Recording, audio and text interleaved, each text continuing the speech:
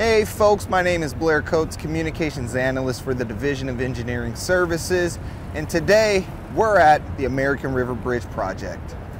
For our viewers, can you start by just telling us what is the American River Bridge Project and why is it so important?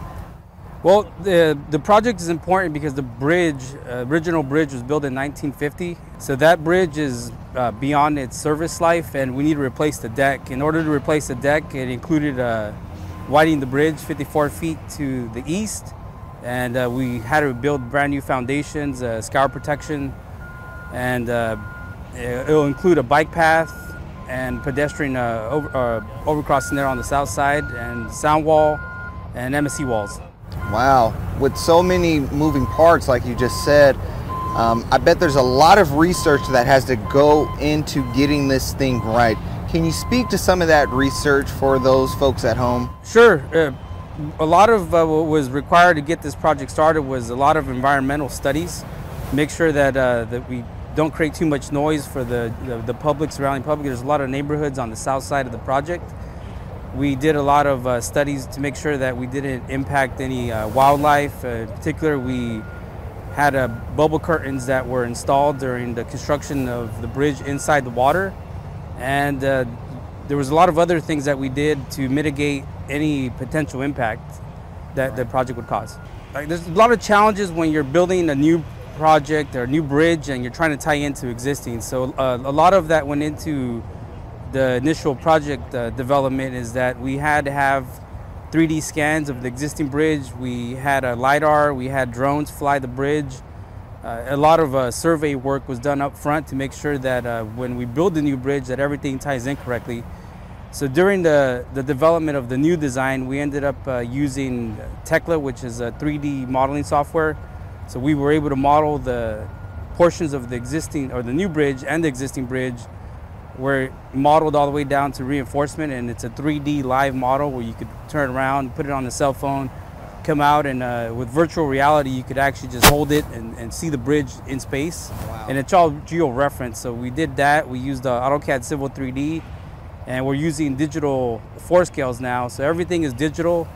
We're able to share that information with the contractor with the manufacturers and we're all speaking the same language. So it's been really uh, easy to check all the work uh, check all the manufacturing and ensure that everything is going to work out and be constructed per plan and, and spec. So Louise, you spoke to some of the challenges earlier. Can you kind of give us a little bit more detail on what those challenges look like for the American River Bridge project? Sure, we had uh, various challenges, but one of the most challenging uh, aspects of building this bridge is uh, the manufacturing of the steel girders.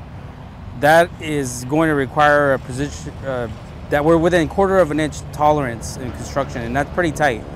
Uh, the instrument itself has about that, that kind of variance. So what we're doing is we implemented uh, a 3D scanning of the existing girders up in Washington. So we went up to Washington, we scanned those with a, a 3D scanner and we brought those back into AutoCAD Civil 3D. And we're going to compare that as built, the anchor bolts here on site, what's been built here and uh, compare, make sure that everything lines up correctly.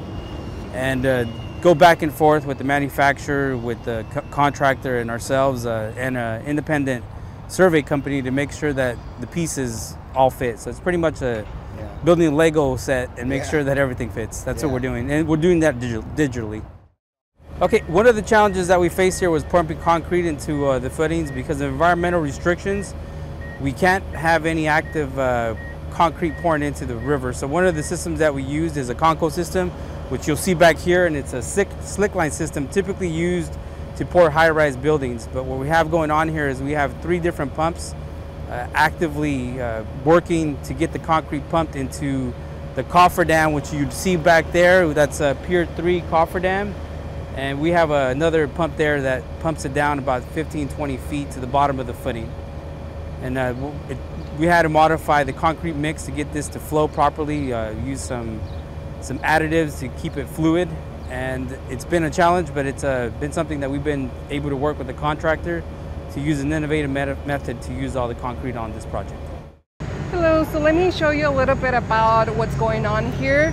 Um, on your left side, we have a, a 248 crane. That's a 200 ton uh, crane and it's currently moving all the rebar into a materials barge.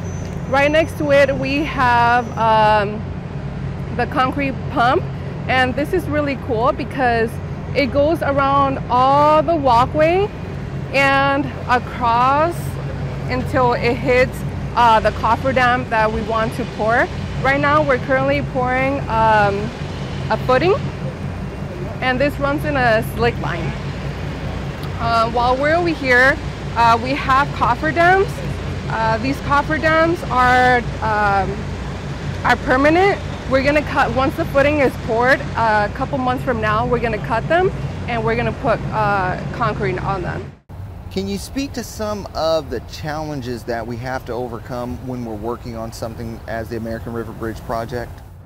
Yeah, some of the challenges that we've encountered is getting a precise location of the bolts for the girders. Um, we have to be as accurate as less than uh, a quarter of an inch. And this is because the girders are prefabricated. Um, so once they arrive on site, they have to fit straight uh, exactly um, on top of the caps.